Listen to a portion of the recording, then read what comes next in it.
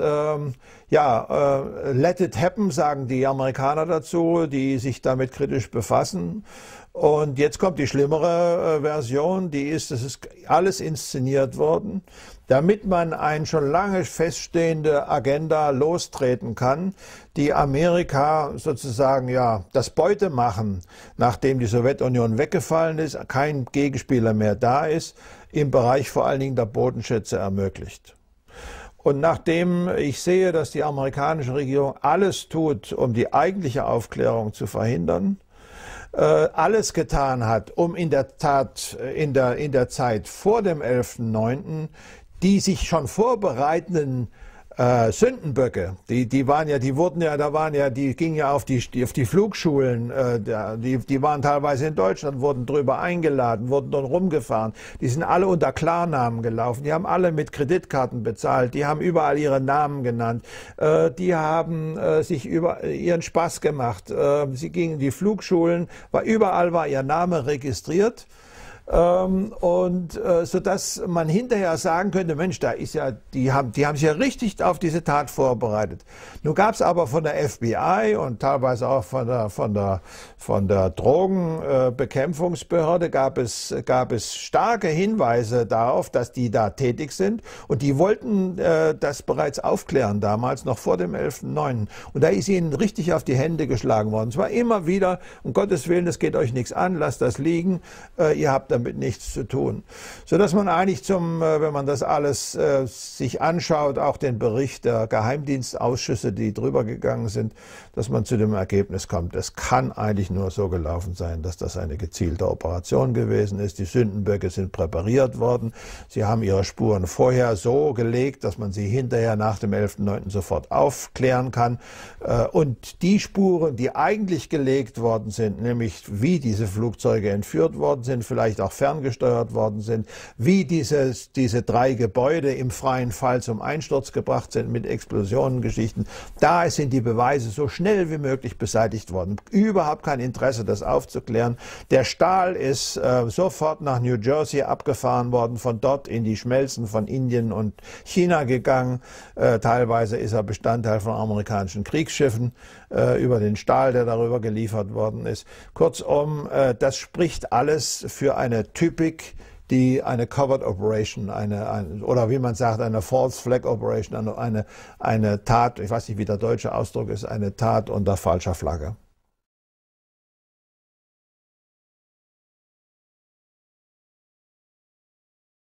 Also die 19 ähm, äh, kamen ja aus allen, allen Teilen der Welt. Äh, es wird sehr häufig behauptet, sie kämen aus Saudi-Arabien. Ähm, der ähm, äh, Saudi-Prinz äh, Faisal, aber legen Sie mich nicht, legen, ähm, hat äh, ein, einen Besuch bei Bush gemacht und nachdem er bei Bush rauskommt, eine Pressekonferenz gemacht. Die Behauptung, dass das Saudis seien, ist falsch.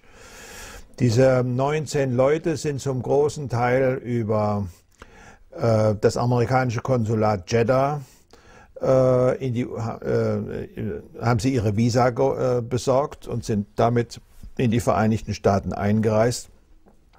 Und da haben wir einen interessanten Bericht schon, schon vor dem 11.09. von einem, von einem äh, amerikanischen Beamten des Auswärtigen Amtes, äh, der sagt, äh, also wie da jungen Leuten Visas erteilt worden sind, das widerspricht jeder gesetzlichen Regelung. Die haben nicht angegeben, was sie machen, sie haben nicht angegeben, wo sie bleiben, ihre Formulare sind völlig un unvollständig, sie haben willkürlich ihre Namen verändert. Also kurzum, er sagt, ich habe dort gearbeitet, habe Protest eingelegt, bin damit aber gescheitert und bin dann aus dem Auswärtigen Dienst ausgeschieden. Äh, ich habe festgestellt, dass von, ich glaube, 19 Beschäftigten des Konsulats 17 bei Geheimdiensten waren. Das heißt, da war eine richtige Schleusungs, äh, Schleusungsinstitution, über die diese Leute äh, teilweise mit zehn Jahreswiesen in die Vereinigten Staaten äh, eingeschleust worden sind. Dann sind sie, dann sind sie äh, in verschiedene Flugschulen gekommen. Äh, diese Flugschulen äh, haben den äh, Leuten miserable Zeugnisse ausgestellt. Ich, sagte, der, der, der, ich glaube, Mohammed Atta war es, dem, dem würden wir nicht mal eine Cessna anvertrauen. Äh, dem würden wir auch kein Flugzeug unseres, Fl also die Kleinflugzeug unseres, unseres Flughafens, unserer Flugschule leihen. Äh, kurzum, die haben das im Grunde genommen mehr oder weniger pro forma gemacht. Äh, und ähm, um so zu tun, der eine hat dann angeblich behauptet, er wollte nur, er wollte ähm, nur, äh, nicht starten und landen lernen, sondern nur fliegen.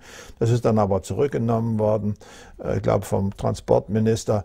Also ähm, das war ein, ein, ein extrem merkwürdiger Haufen, umgeben in, teilweise, äh, von, ein Teil von denen war sogar auf amerikanischen Militärschulen, wenn es denn dieselben gewesen sind.